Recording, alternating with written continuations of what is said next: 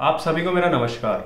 दोस्तों Bank of India का admit card out हो चुका है, जो पीजीडीबीएफ पीओ का पेपर है। तो काफ़ी सारे लोगों ने हमसे पूछा था कि इसका एग्ज़ाम टोटल कितनी शिफ्ट में है टोटल कैंडिडेट कितने हैं, इसका तो मैं ऑलरेडी पहले वीडियो बना चुका हूँ। तो टोटल शिफ्ट के लिए हमने कल एक कम्युनिटी पोस्ट कराई थी तो उस पर जितने कमेंट अभी तक बच्चों के आए तो उसके अंदर बच्चों ने लिखा है कि 19 मार्च को एक तो सुबह साढ़े सात बजे और एक साढ़े बारह बजे, यानी ट्वेल्व थर्टी पे दिन में और सेवन थर्टी पे सुबह। ये दो शिफ्ट का टाइमिंग अभी तक निकल के सामने आया है।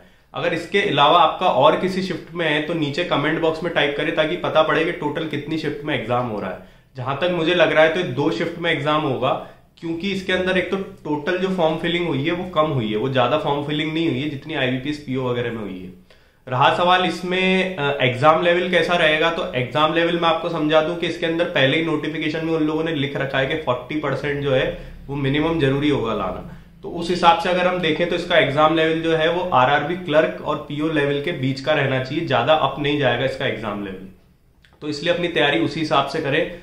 साथ ही कंपटीशन लेवल की बात करें तो कंपटीशन लेवल देखो, इसके अंदर सीटें कम है तो फॉर्म फिलिंग भी कम है। आईबीपीएस पीओ के अंदर सीटें ज़्यादा होती फॉर्म फिलिंग भी ज़्यादा होती। हालाँकि फिर भी कंपेरेटिवली आईबीपीएस पीओ के कंपैरिजन में थोड़ा कम होगा इसके अंदर कंपटीशन तो और कोई जानकारी अगर आप चाहते हैं बैंक ऑफ़ इंडिया पीजीडीबीएफ की तो आप नीचे बता सकते हैं तो हम कोशिश करेंगे उसका रिप्लाई देने की।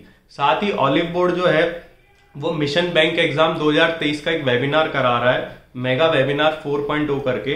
18 मार्च को ये है तो इसका लिंक मैं नीचे डिस्क्रिप्शन बॉक्स में दे रहा हूँ तो आप वहाँ जाके रजिस्टर कर सकते हैं। तो दोस्तों, कैसा लगा आपको हमारा वीडियो? अगर इस तरह के और वीडियोस चाहते हैं तो नीचे कमेंट बॉक्स में टाइप करें और हमारी चैनल को लाइक, शेयर, सब्सक्राइब करें। आप लोग का बहुत बहुत धन्यवाद।